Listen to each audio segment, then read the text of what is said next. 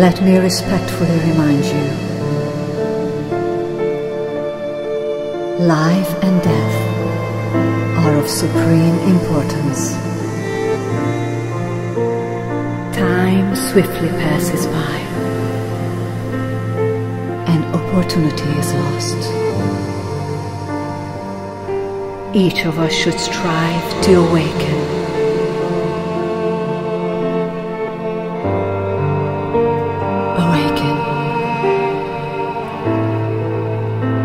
Take heed.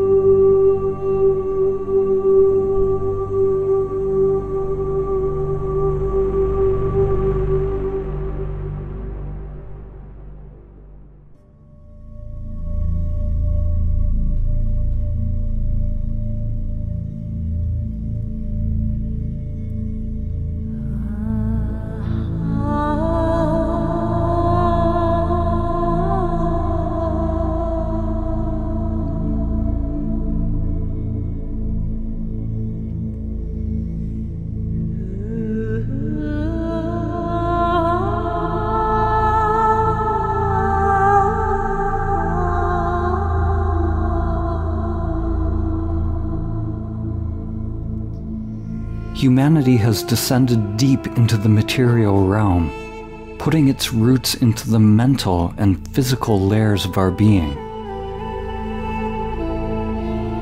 As Carl Jung said, to touch heaven, one's roots must reach into hell.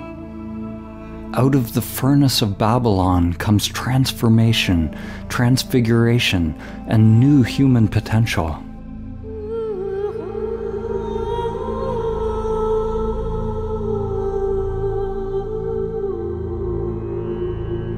The Eastern traditions say that the lotus of awakening grows out of the mud of samsara, out of suffering.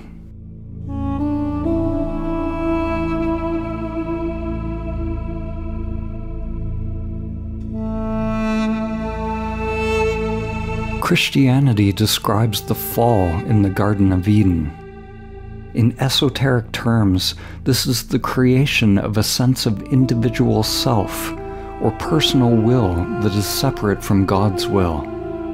Along with this separate self is the coming into being of an external world of thought, the world of form that seems separate from this limited self. The character or the ego is made of patterns of pursuing or wanting things in that external thought projected world. The external things that we crave are the fruits of the tree of knowledge of good and evil, or the tree of duality.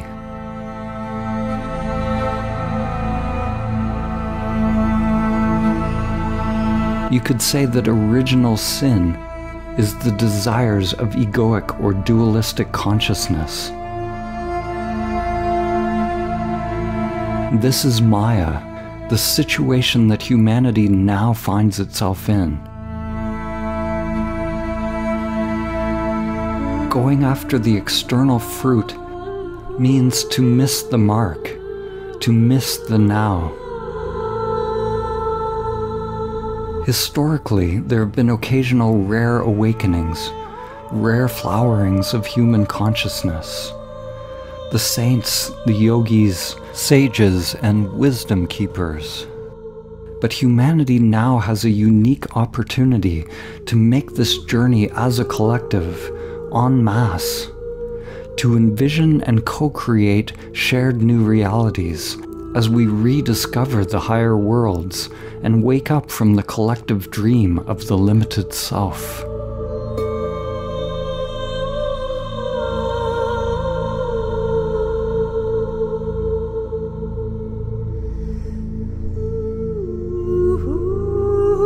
Most humans are currently living almost entirely identified with the gross physical and mental layers of their being not even aware that the higher levels exist. Most people do not know or suspect that there are spiritual capacities latent within the self structure, waiting to be activated. By realizing these capacities, we connect to subtler and subtler levels of existence, while at the same time making the self structure permeable to our true nature disidentifying from all levels of mind or Maya.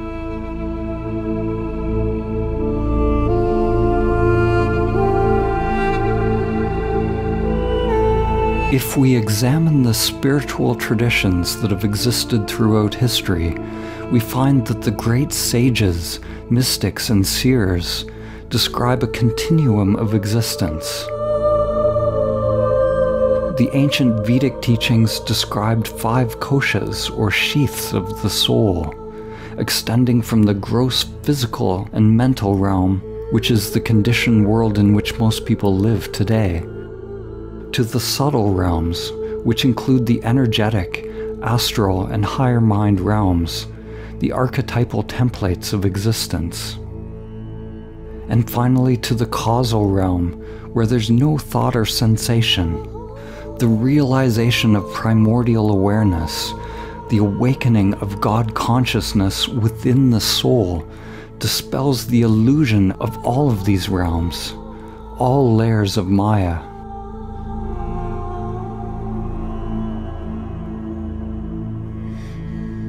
The ancient traditions contain numerous conceptual and language frameworks that point to this continuum from gross to subtle to causal.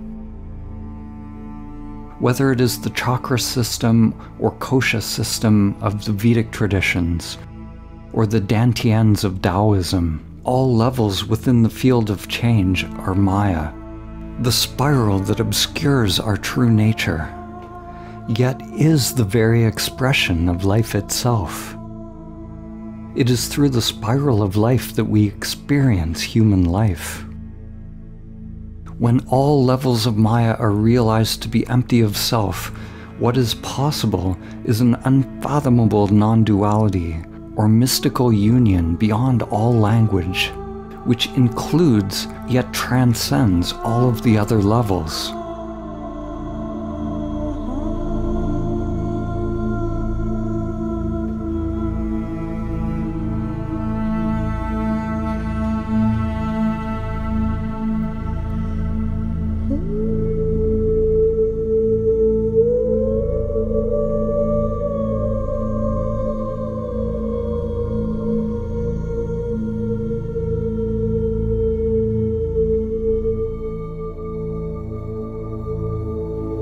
David Thoreau famously said that most people lead lives of quiet desperation. They go to their graves with their song still inside of them. Their desperation comes from an endless searching outside of themselves. The pursuit of things, money, power, relationships, approval from others. The root of suffering lies in one's mental attachment to things, not in the things themselves. It doesn't matter what you have. What matters is your attachment to what you have. We form attachments at the sensory level through neuroplasticity. Wherever attention is placed, neurons fire and wire together, creating a program in the mind a tendency towards pattern, which is what the mind itself is. When we have any unconscious tendency or life pattern, we are not actually addicted to the things themselves. We are not addicted to drugs, alcohol, sex, food, or media, but to the sensations that they produce within us. We become free by observing the somatic field directly the field of changing phenomena at the root level of awareness. We remain equanimous without reacting or judging any sensation as good or bad.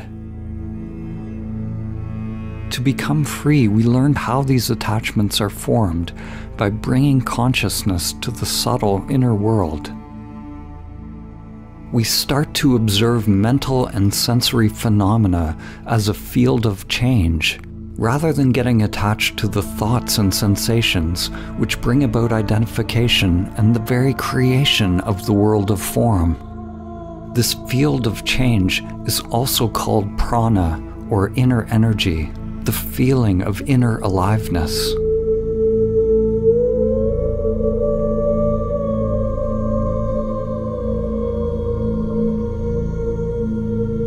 The shift to a new earth is a shift out of materialism. What we are witnessing is a release of the old paradigms and the pathological egoic agenda to endlessly acquire more. What you are seeing around you right now may seem like darkness, it may seem like madness. Actually, this is what awakening looks like on planet Earth. You are witnessing the dismantling of the old patterns.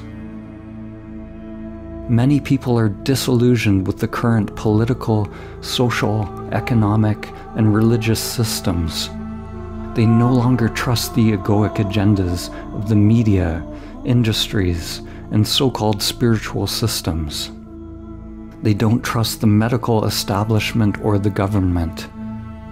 People are disillusioned. This dispelling of illusion is a necessary part of seeing the truth a coming face to face with the spiritual sickness that is inherent in this time we are living in, and for coming out of egoic consciousness. By egoic consciousness, I mean the patterns of craving and aversion that operate unconsciously. The collective samskaras, or conditioned patterns, which create the conditions of Maya the identification with our characters, or with social groups, or anything we define ourselves by, with the various personas and archetypes we are playing out in this lifetime. The self structure is an interface with the world. We don't want to get rid of that interface or destroy it. The path is about disidentifying from it so that our sense of I or the sense of existence is not tied to a limited form, so that we don't suffer when the world of form changes. The human path is a journey from pre egoic existence, which is the merged oneness that we experienced when we were a baby with our mother, to the creation of a person. We grow, we create a character, this is a necessary part of our evolution in order to bring about self consciousness, to bring about a sense of self or I. We are actually in an adolescent stage of our development. We're in an ego identified stage. But the next step beyond self consciousness is to realize transpersonal levels of self. to realize shared levels of consciousness, various levels of logos or higher mind. You could say levels of soul if you prefer that language. Our sphere of compassion expands. This is an expansion through love.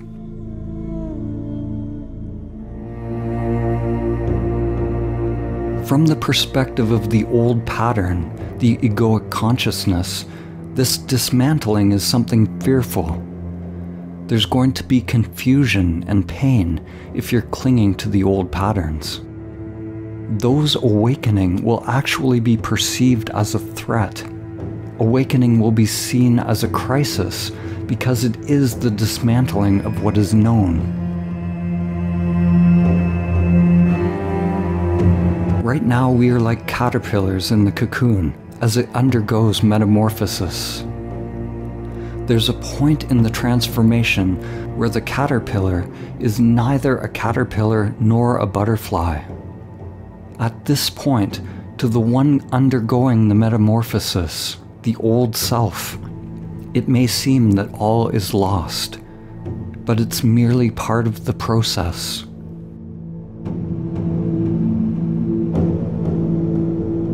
Faith is a surrender to the evolutionary impulse, a deep knowing that we are moving towards Source.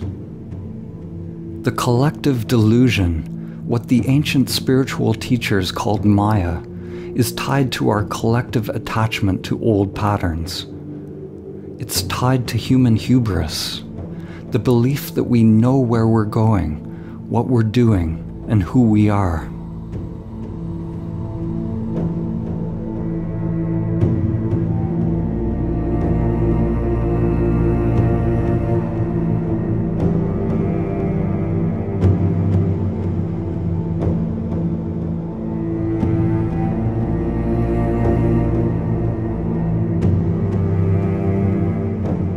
French painter Paul Gauguin is famous for a painting which he entitled, Where Do We Come From? What Are We? And Where Are We Going? These three questions require a humility to find out what we are, to find out the truth. We first have to acknowledge that we don't have the truth. We don't have the answer if we want to find the answer.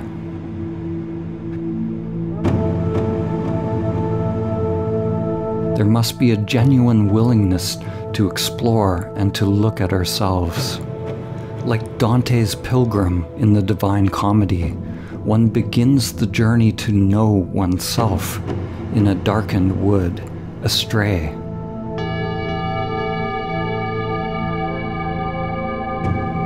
Recognizing that we are lost.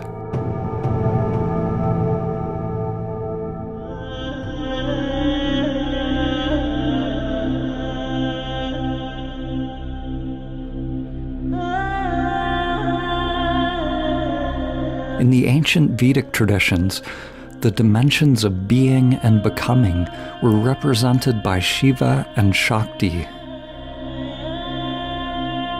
The archetypal feminine, the downward current or current of manifestation, is represented by Shakti, by the downward pointing triangle, which points toward involution of spirit into the world of form.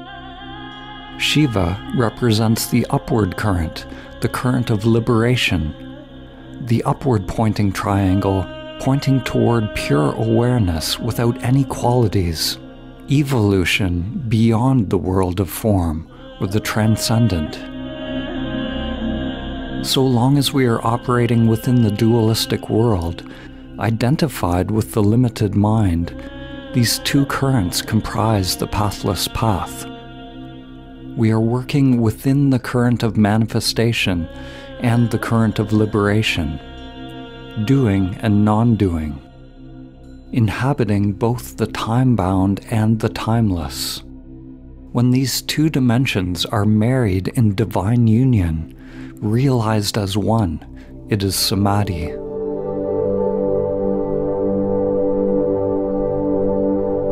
When in union, they represent the balance and coexistence of these two dimensions, like the Star of David or the Anahata symbol, which is the ancient symbol representing the spiritual heart, the unstruck sound, the transcendent source of the primordial Om that is dancing the universe into being.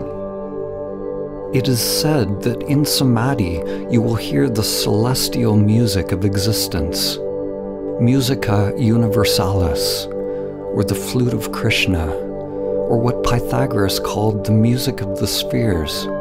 Of course, these are all metaphors for something that awakens within the depths of your being, something beyond the limited mind and senses.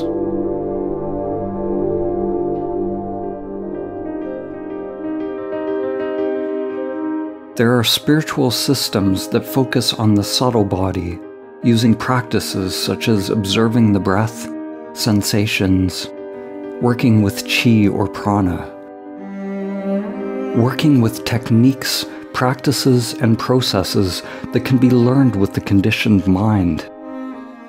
Everything that directly employs and engages the limited mind in order to realize samadhi is part of the via positiva this is what we call the Shakti path.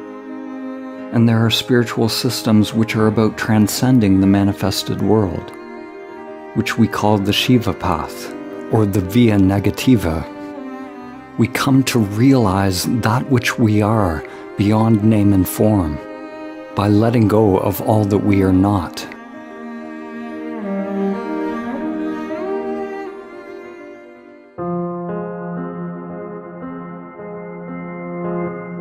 Way to samadhi has been given many names, such as meditation, self inquiry, or prayer. Most people who practice these things today are practicing some technique, but the ancient form of meditation that leads to samadhi is actually not an activity. It is not something that you do or practice, but it is actually the cessation of the meditator, the seeker or the doer. True meditation is union with what is, and it only begins to happen when the ego fails in its attempt to meditate and realizes its own limitations. The ego, the you that you think you are, must necessarily fail in all attempts to meditate for true meditation to come about. The closer we come to the truth, the closer we come to samadhi, the less doing there is, the less technique there is. The techniques are all part of the past. We drop the doing and the doer. We drop the seeking and the seeker to come to the unconditioned present. Some teachers overemphasize techniques, while some undervalue them. It's important to understand that the technique is a stepping stone we don't want to abandon the technique, but we don't cling to it.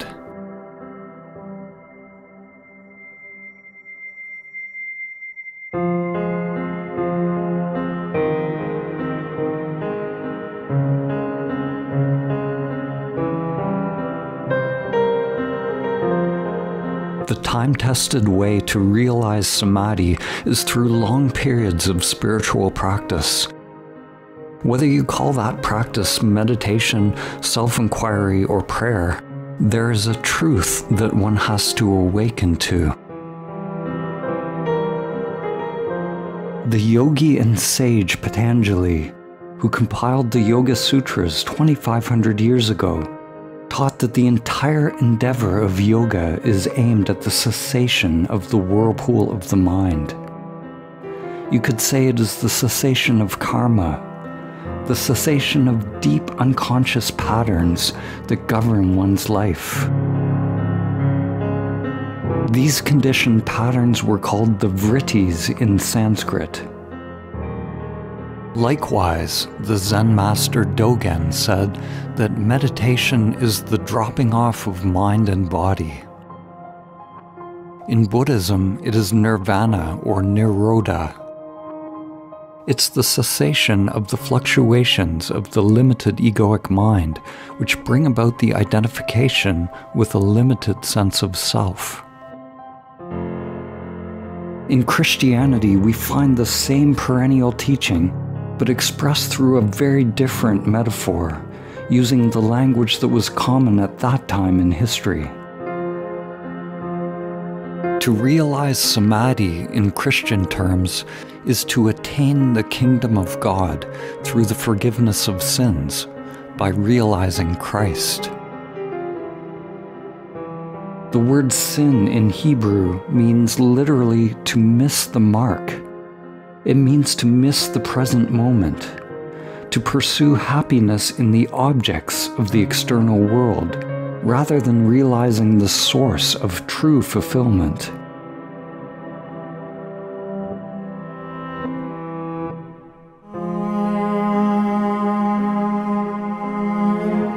To come into the now to the present moment is to learn to surrender the preferences of the conditioned mind, to burn up opposing states by remaining non reactive to anything that is appearing within the field of change.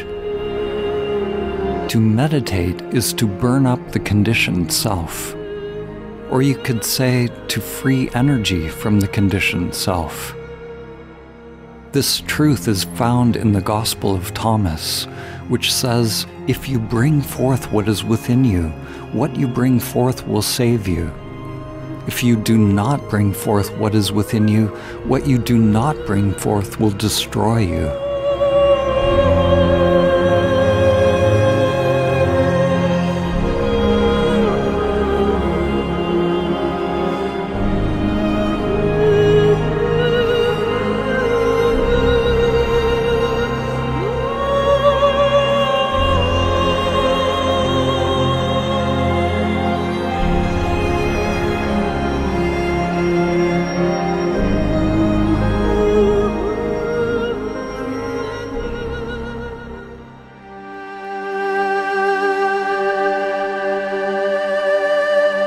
Mountain may be accessible by many paths.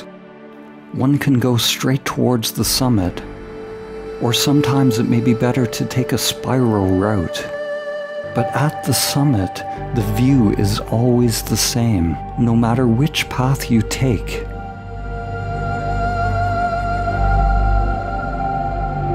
Humans have created thousands of meditation techniques throughout the millennia not to mention countless yoga postures, asanas, specialized breathing or pranayama, and every conceivable variety of ritual or practice.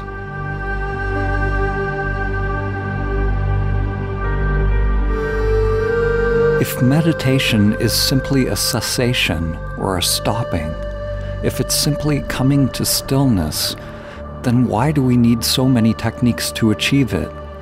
Why can't we just sit and wait for our mud to settle, as they teach in Zen?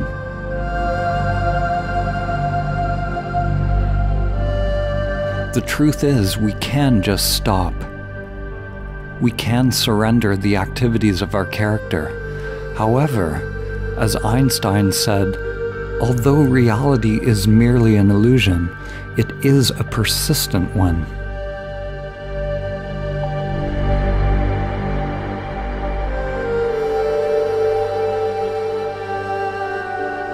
It is this persistence of the illusion that makes it necessary for most people to penetrate into the unconscious mind.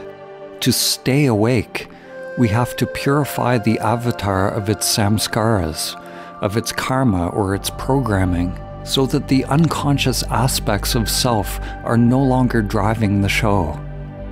When I say purify, I don't mean that the avatar is somehow bad or negative. I simply mean that it is possible to disidentify a sense of self from it, and the disidentification process is what we call purification or cleaning. I'm cleaning myself of myself. Our sadhana is to unite all aspects of ourself so that we are not divided. We penetrate into the unconscious by creating conditions of no escape for the ego. Whether this is through long periods of meditation or self inquiry, through intensive yoga, qigong, prayer, or breath work, or fasting, or chanting, or by taking entheogens which open us to the unconscious depths of the mind, we will naturally be drawn to different practices, techniques, and tools at different times on our path.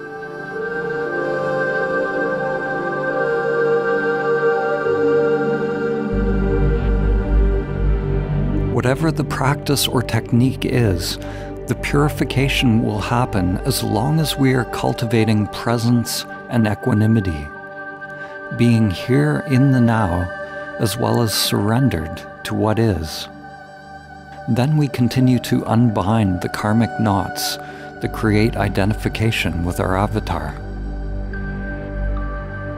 We let go of judging any sensation or thought as good or bad always going deeper into the sensory field, always perceiving subtler and subtler phenomena, becoming so conscious of what is arising that there is a merging with the meditation object. We become the breath. We become the yoga posture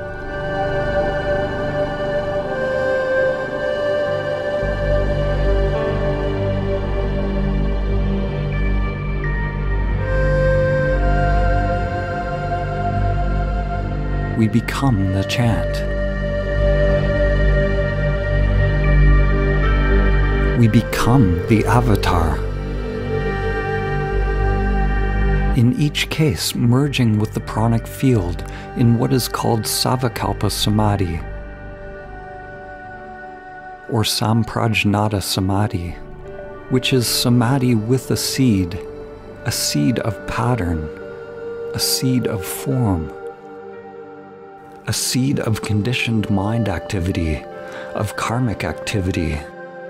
So long as there is a seed of attachment, of unconscious mind activity, of separation between the inner and outer worlds, then the final goal will not be reached.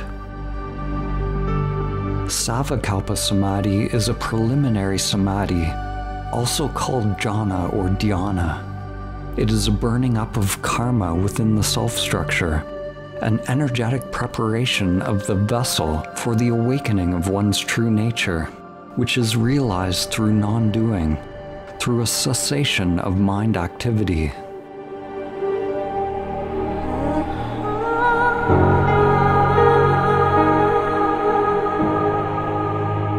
Your mind is like a pond and your thoughts are like waves or ripples upon that pond.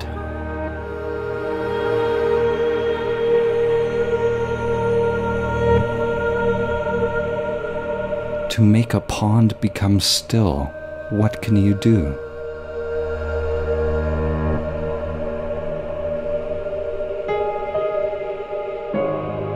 Anything you do will stir up more waves.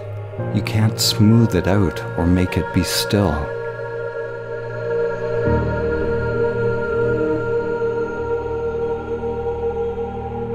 The pond only comes to stillness when you have let go of all effort, all striving, all movement. Realizing the natural state is not something that you do it is a recognition of what you are beyond the movement of the mind and senses. Who is moving the mind? Recognize who is choosing. It is only the mind itself that chooses.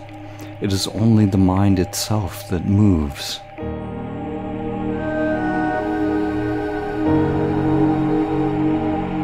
It is only the mind itself that wants to try to still the mind.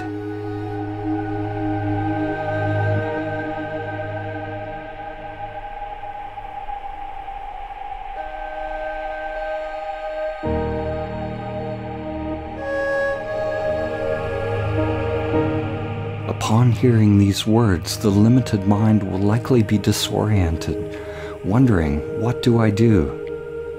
Just allow that disorientation. Become aware of the true self. Become aware of awareness, conscious of consciousness.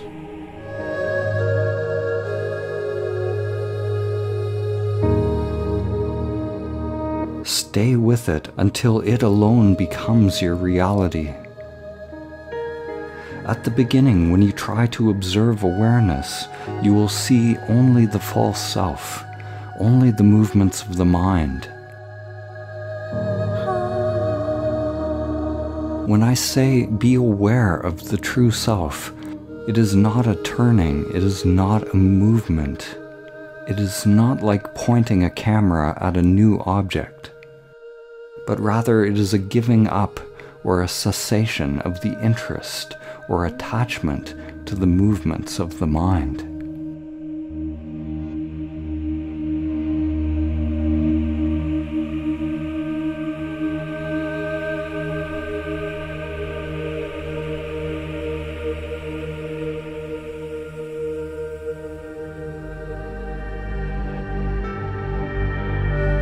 Two main knots that bind us into identification with the false self. The body wants comfort, and the mind wants to know. The body is attached to sensations of pleasure and avoidance of pain. All sadhana or spiritual practice that leads to samadhi fundamentally involves two things.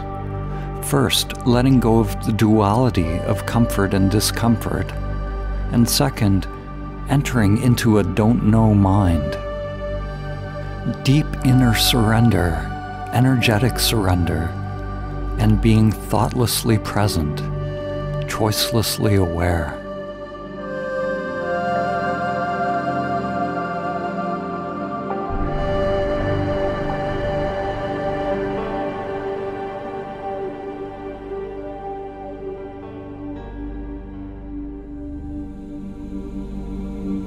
Socrates was considered the wisest person of his time.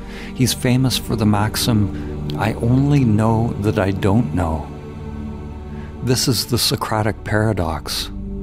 Adopting a don't know mind, a not knowing mind, is the gateway to samadhi.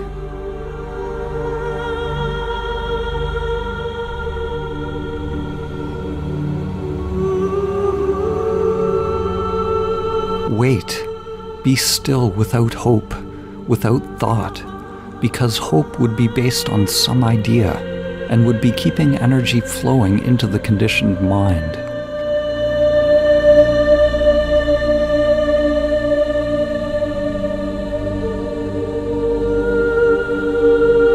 T.S. Eliot wrote, I said to my soul, Be still and wait without hope, for hope would be hope for the wrong thing. Wait without thought, for you are not ready for thought.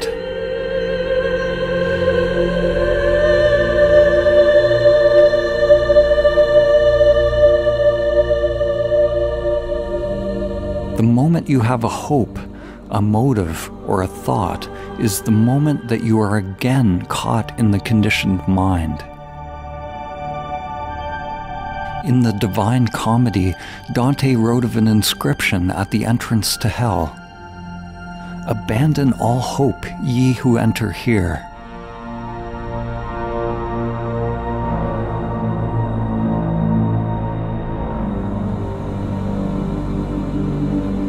It is actually a very practical instruction.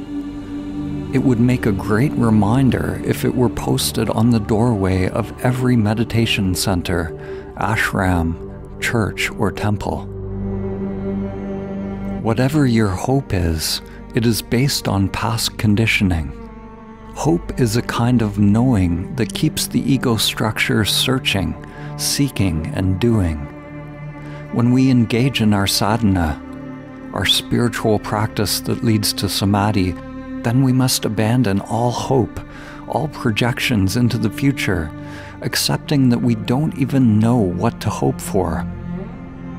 This is a humbling for the ego.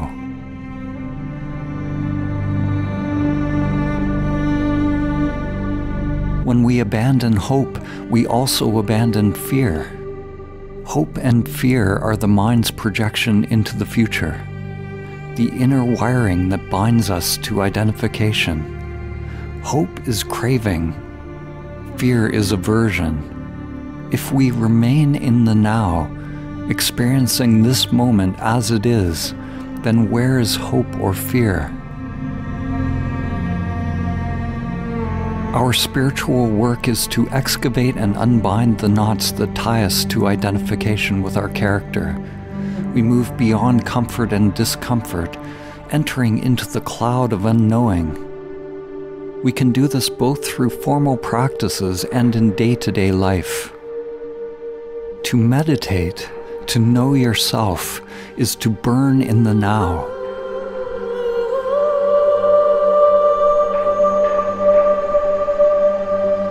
to burn up your patterns, your preferences.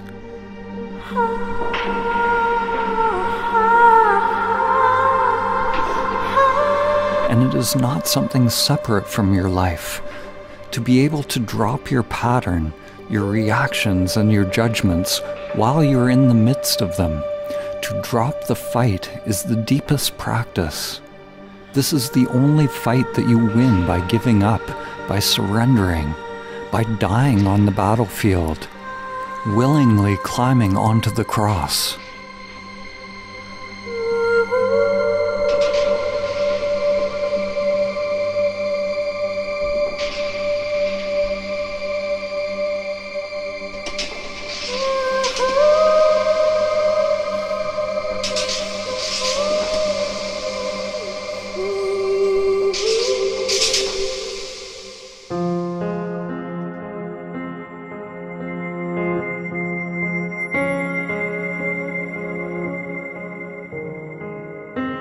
Some people are ready for the highest teachings on meditation and self inquiry, the simple and clear truth.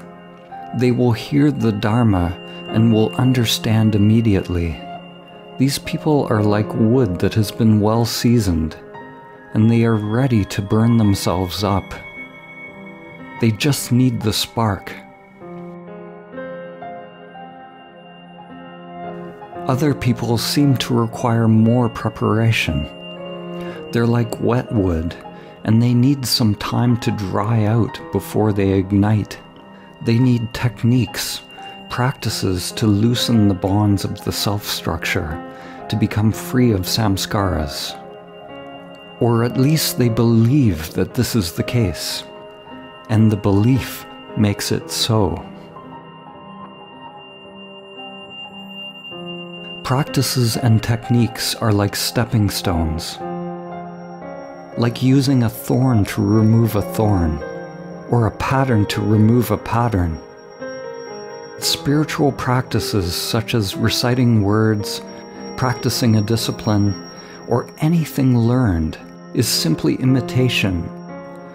It's something repetitive and conditioned. Because all techniques are conditioned patterns within the mind, the practice itself will never lead beyond the mind to samadhi. You will remain in the pattern, in a robotic, repetitive state. One must hold on to the technique loosely, allowing inner energy to flow freely. When you become absorbed in inner energy, then the conditioned doing is dropped.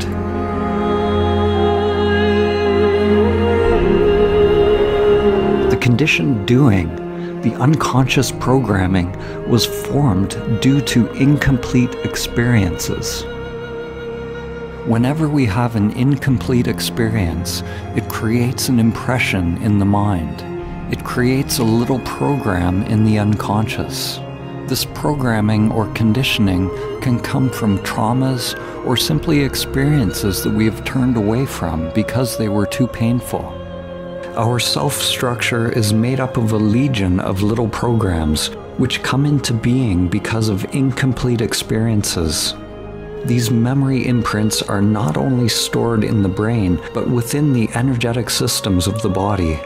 Throughout the nervous system, the fascia, and many networks of nadis or meridians. These programs take energy to run. If energy is trapped in the unconscious, then it's like leaving apps open on your phone, draining your battery. Our sadhana is like learning to close the apps on our phone. To become free, we bring consciousness to the subtle sensations, to the field of changing phenomena or energy within us, without reacting to any thought or feeling that arises. By dropping the preferences of the ego structure, moving beyond comfort and discomfort. Everything in the external world is pointing us in the wrong direction. Society tells us to numb our pain, to seek comfort. The way in is the way out. The way out is the way in. We need to turn toward our pain. We become free of samskaras by having a complete experience, by feeling it without reacting, by burning in it. We have a complete experience of the feeling without the emotion. Emotions are reactions. They are feelings that are intertwined with thoughts. We drop the thinking component and stay with the raw feeling, the raw sensation. It has been said that the path to liberation is not about feeling better, but about getting better at feeling. The ultimate examples of this are Jesus on the cross, or the Buddha's meditation that led to his enlightenment. It is facing one's greatest pain, one's greatest fears, dropping the concepts, the knowing, and the judgments of good or bad.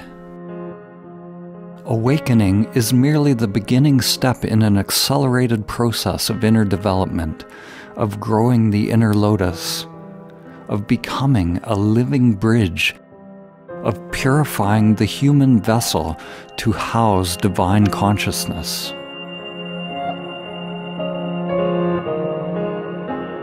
Energy is like the Rosetta Stone for spiritual practices. If you understand how energy works, you understand the usefulness of the practice. Every technique or practice is interrupting the pattern of you. You are using a conditioned pattern to interrupt conditioned patterns. You must be willing to let go of the technique once it has served its purpose. Otherwise, you will just create an identity around it and a new spiritualized self structure.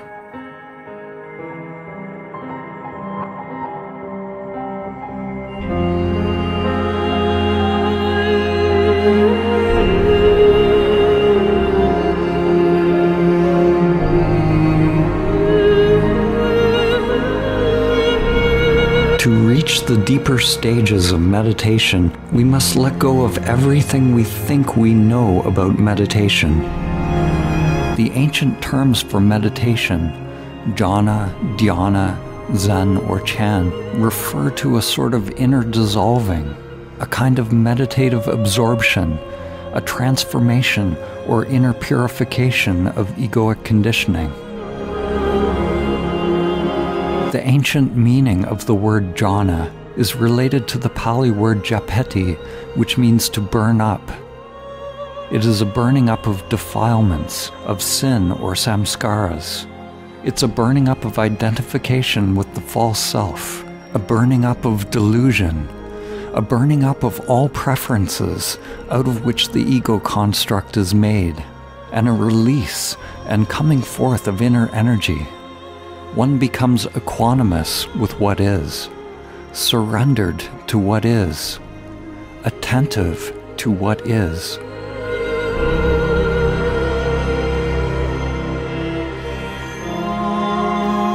Awakening to our true nature can happen gradually through these stages of jhana as the identification with various processes of conditioned mind is dropped or awakening can happen instantly. This is called Satori in Zen.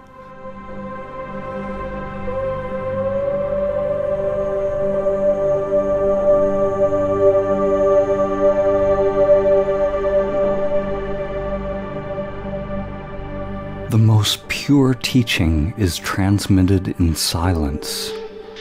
But with the world such as it is today, very few will understand or be drawn into the source of that silence.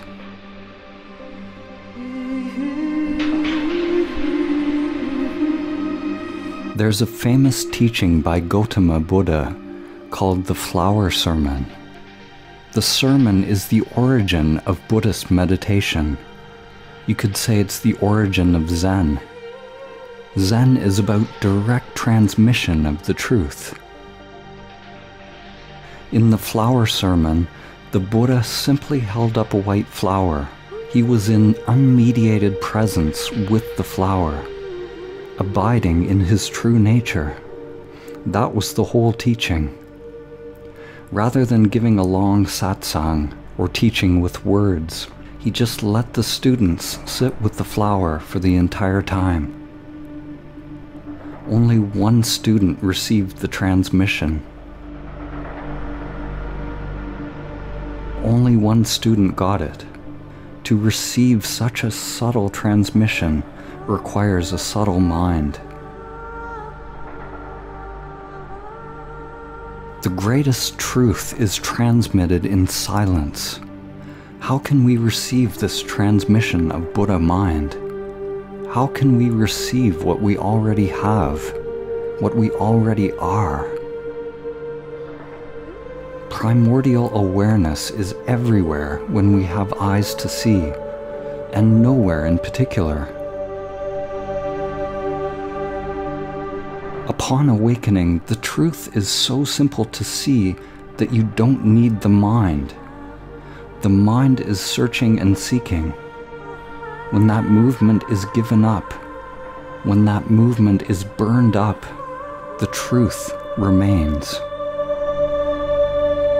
You already are that which you're looking for, but you're identified with the false self.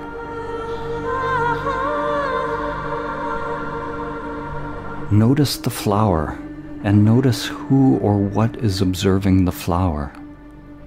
What is separating the observer and the observed? Meditation or jhana is to be present here and now without the mediation of images in the mind, ideas and concepts. If awareness is absolutely present so that there is no more knowing even in the unconscious, then there's no more observer and observed. There's no more relationship between you and anything. There's no more flower and separate observer. It is only the limited mind that sees things. The activity of the limited mind is the creation of things the creation of the experience of time and space, the creation of duality, of experience and experiencer. It is possible to wake up here and now to a profound dimension of stillness beyond the mind. Not pushing away the mind, but letting it be exactly as it is, yet not getting caught in the mind Don't try to analyze these words. These are not concepts. If presence has realized itself upon hearing these pointers, don't let the mind get involved. As soon as you receive the transmission, turn off this video and abide in awareness as awareness.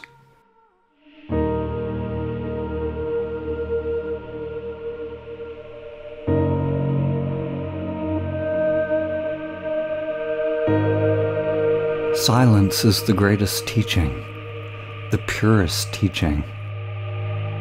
The next best teaching is pointing directly at the unfathomable. This next teaching has had many names throughout history. It is pointing toward the transcendent self, or pure consciousness.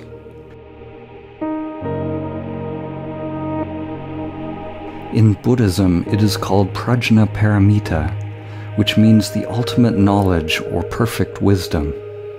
which is distinguished from ordinary knowledge or conditioned knowledge. It is what is realized through the eighth limb of yoga described by Patanjali. In Shaivism, this awakening could be described as oneness with Ishvara or Shiva, which are names for absolute consciousness.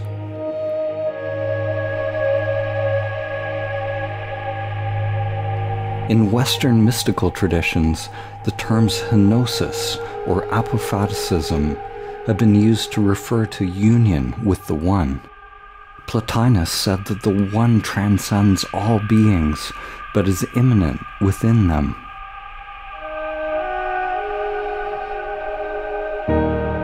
In Tibetan Dzogchen, it is described as the natural, primordial state of being. They use the word Rigpa to refer to the ground of existence.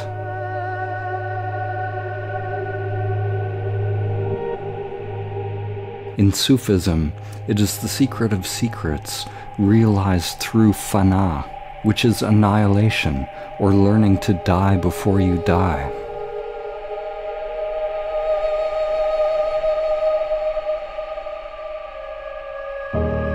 In Mahamudra, it is the great seal or the great imprint, the realization of the natural state, primordial awareness, emptiness, absolute, clear and transparent without root. Do not listen to these words with the mind, but recognize within the depths of consciousness that to which they point.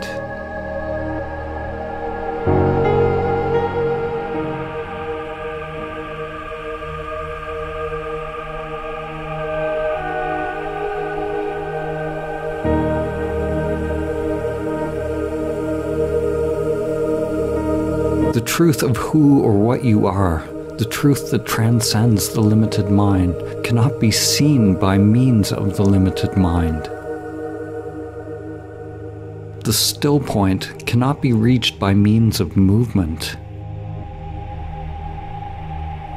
If you want to realize the still point beyond thinking, let go of all interest in thoughts and sensations, all preferences, all phenomena generated by the mind and senses, and rest in naked awareness.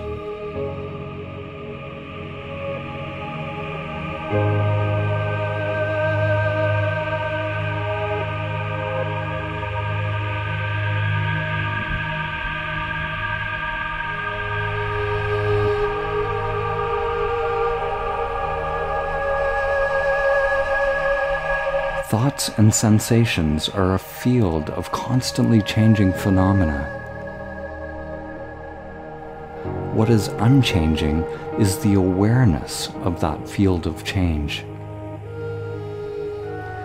We are usually so caught up in the field of change, fixated on its objects, that we ignore awareness. To realize samadhi, we stop chasing anything in the field of change, any thought, and we rest as awareness. Stop reacting to thoughts and sensations. All suffering is due to our believing our thoughts. Notice the mind's habit of judging or labeling any thought or sensation as good or bad. We allow every thought and sensation to be as it is. We don't push away anything, and yet we don't get ensnared in thoughts or hooked by their content. In this way, we approach the Absolute by the negative path, the via negativa whatever is arising, we realize not this, not that, not this, not that. Through the via negativa, one realizes everything that is arising is not you. You realize that you are nothing, the wisdom of no self. Through the via positiva, one realizes everything that is arising is you. This is love, an energetic connection or merging. Both truths exist simultaneously.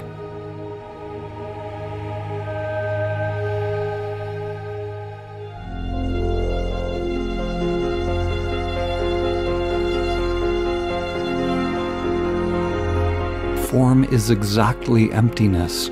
Emptiness is exactly form.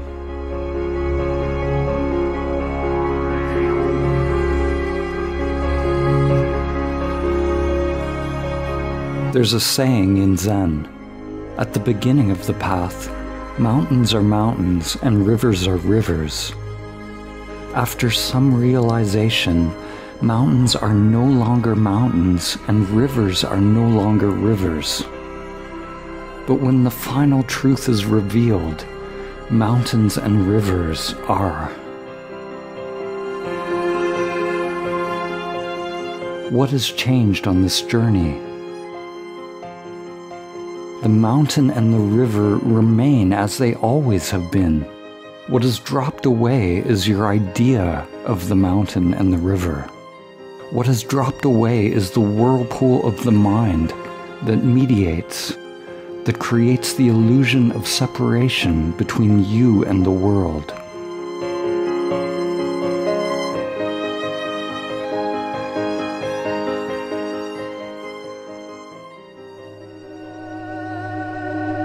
To realize samadhi is not to achieve some extraordinary state, nor is it about staying in the ordinary state of mind.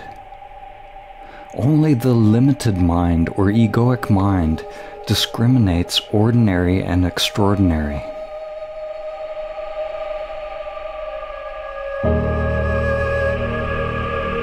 Turiya, the stateless state, sometimes called the fourth state, is non dual reality. It is transcendent and immanent within. It is the ground of existence, the fountain of all truth. Your effort to achieve some state is a movement of the mind. To realize the ground of existence is not to transcend the physical and abide in the subtle realm or the causal realm all of these dimensions of yourself exist simultaneously. Gross, subtle, and causal exist here and now. It is only the limited mind itself that creates the division.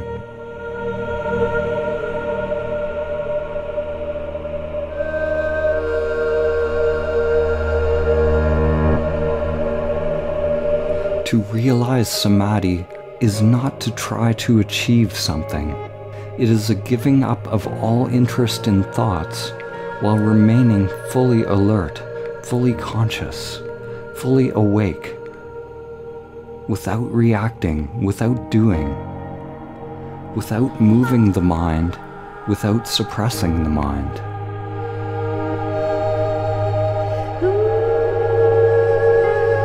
To be aware, to be fully attentive to what is happening without the mediation of egoic conditioning, without concepts, without controlling, manipulating, or distortion, without the filtering of the limited mind. It is to be present without choosing. Present without choosing, and therefore without a chooser. You could call this a mirror mind a beginner's mind without memory or past, an open or transparent mind. You make every moment new.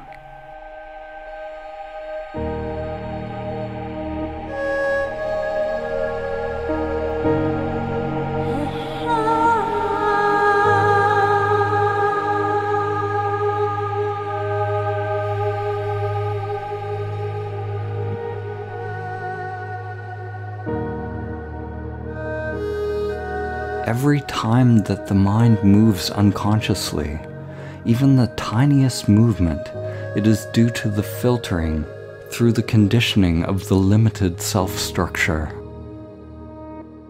Whenever the mind moves unconsciously, it is due to some unsatisfactoriness, which is called dukkha in the ancient traditions. How do I let go of dukkha? How do I let go of all unsatisfactoriness? Listen closely. To the limited mind, there's a paradox. The limited egoic mind hears the question and wants to know how. How do I do it?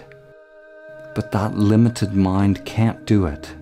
The limited mind will always fail in any attempt to realize samadhi. It must fail. The limited mind does not awaken. Primordial awareness wakes up from its identification with the limited mind.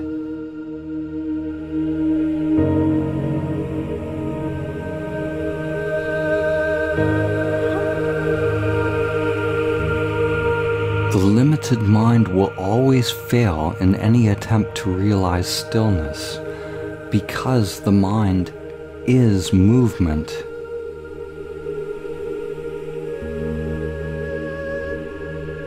The mind itself is movement, and this movement creates the experience of time and space, creates separation. It is an endless process of doing On the pathless path, we awaken from identifying with the character that is doing to recognizing the dimension of being.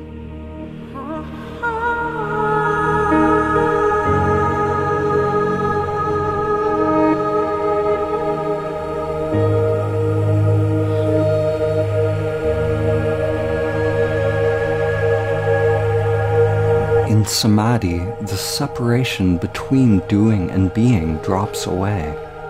The separation is simply another mind process. When there's no thinking within the conditioned egoic structure, then there's no problem.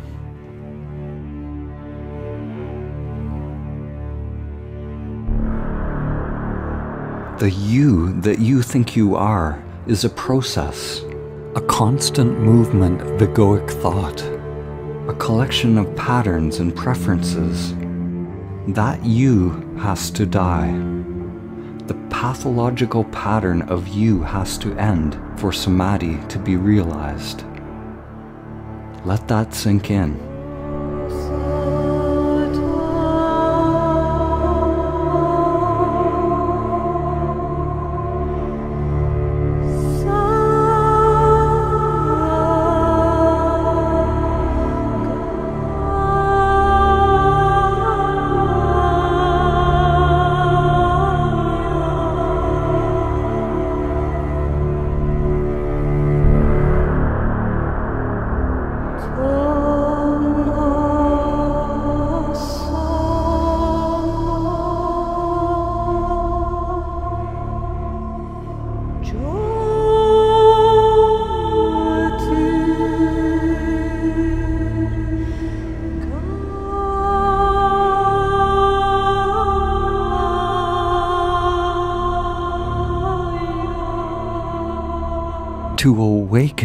Is to see the nature of human suffering, of the human condition.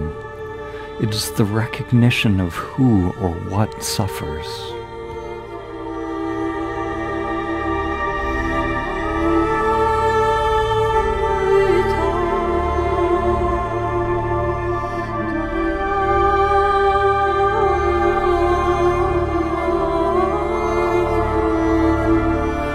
There's no technique for realizing primordial awareness, no process that can be learned, no formula that can be practiced. What I'm getting at can be received in an instant, in a flash. It is precisely the dropping of all formulas, all knowing and all doing, all egoic agendas that creates the optimal conditions for primordial consciousness to awaken.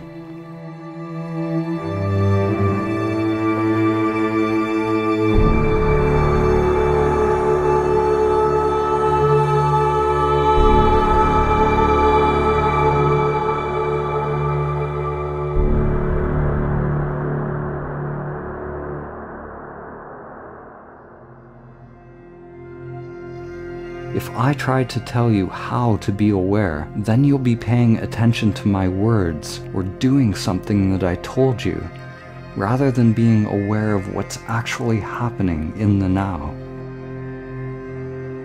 You have to become so conscious of what is, so intimate with existence, that there's no preference, no self or I in it. You inhabit or merge consciousness into what's happening. When egoic activity is dropped, you become that which is arising. Actually, that's not true. More correctly, it's the illusion of separation that falls away. The truth is, we were never actually separate.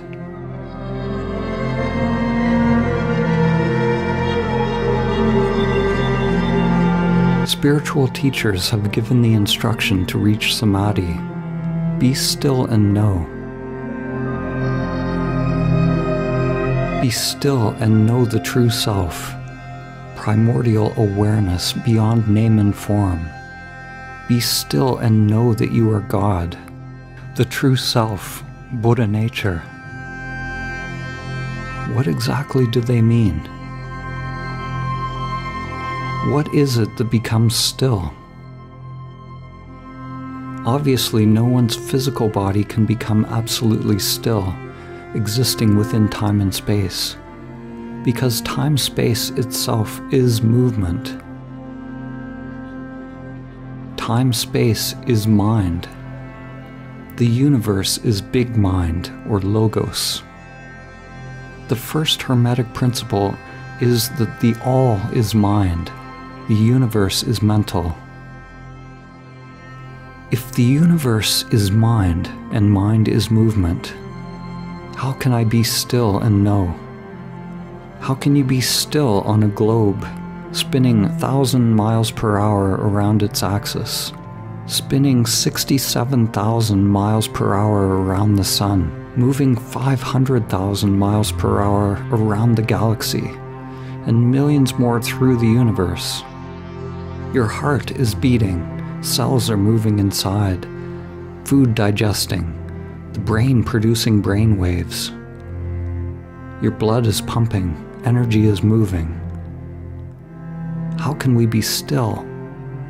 When the spiritual masters say, be still and know, they must be talking about something else, something beyond time and space, something beyond the physical and mental. What is meant by stillness is something that we have no word for in our modern language system. The Sanskrit language, the language of the yogis, has more precise terms which point to the non dual. The term shunyata is often translated as voidness, stillness, or emptiness. Stillness is maybe the closest English word, but it is inadequate to describe something that is not of this dualistic world.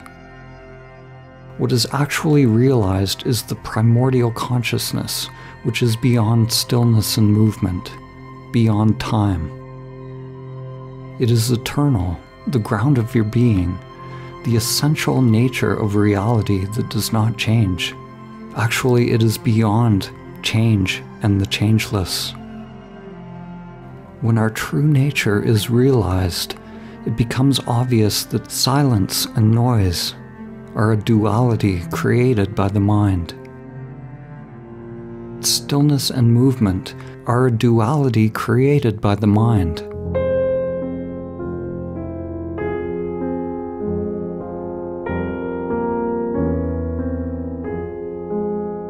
Everything is already inherent within that primordial stillness. The movement of the world is identical to stillness. Be still and know. Be in motion and know. It is all emptiness dancing. This is not something philosophical, but an entirely different way of interfacing with the world. Actually, it's about dropping the interface, dropping the reducing valve, which is the self structure, and experiencing your true nature unmediated by the limited mind. The so called outer world is transcended by realizing stillness, which, when realized, includes that which it transcends.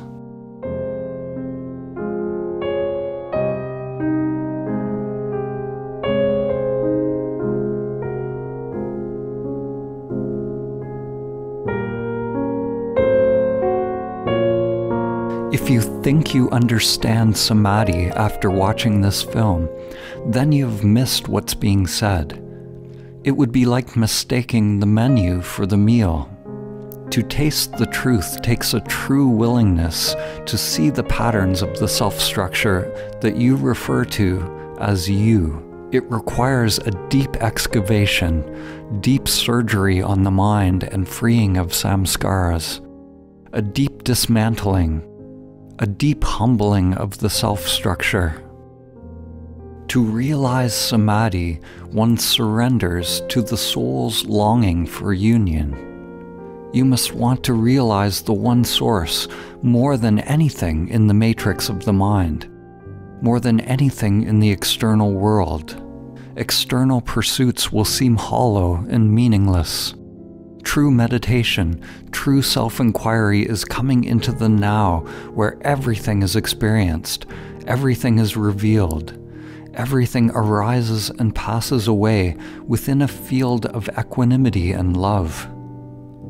Until the eternal is realized, one must work patiently and persistently, wholeheartedly, with humility, burning up your patterns, your preferences, your conditioning.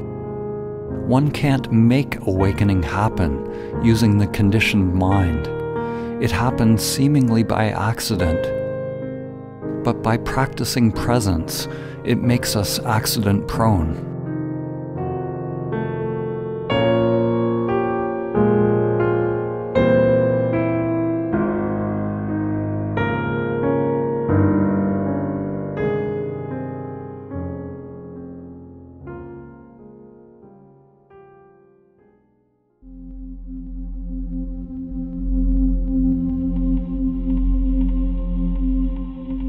The final words of Socrates before he was executed were a warning to the world.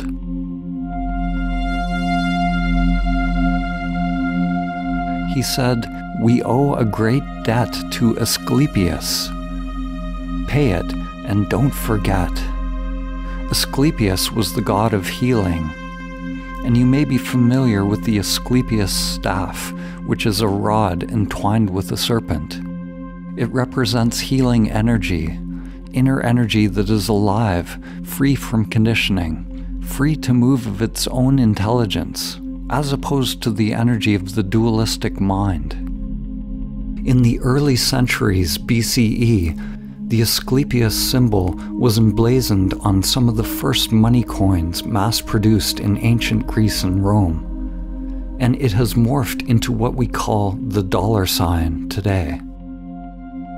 It is an ancient reminder hidden in plain view, a reminder that an exchange of money is an exchange of energy. Christ consciousness or Buddha nature is supported by the feminine principle, by Great Mother, by the Nagas, the serpent wisdom. This wisdom teaches us to purify the inner temple to purify ourselves of ego.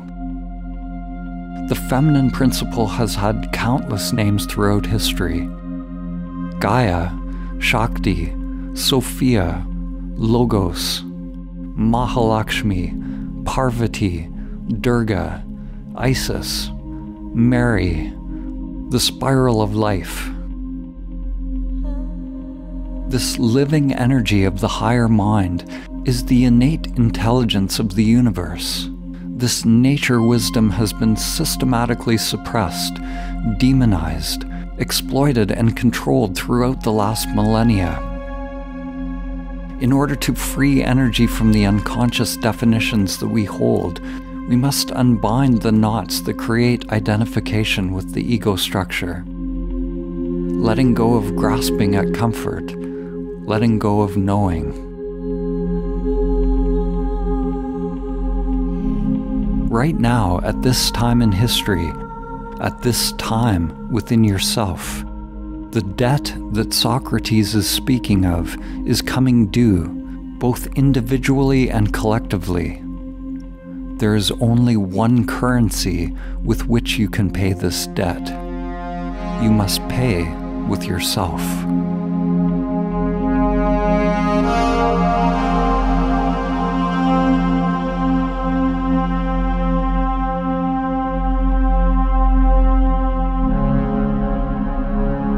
Free our inner energy, our inner aliveness, from its prison in pathological thought structures, it becomes free to connect us with higher levels of mind. Energy is what connects us all. Another name for this energy is love. All true spiritual masters say that love is the true religion. Love is the religion of the future. It cannot be institutionalized, systematized, or conditioned. Love is inseparable from the realization of the one primordial consciousness. To love is to be one with.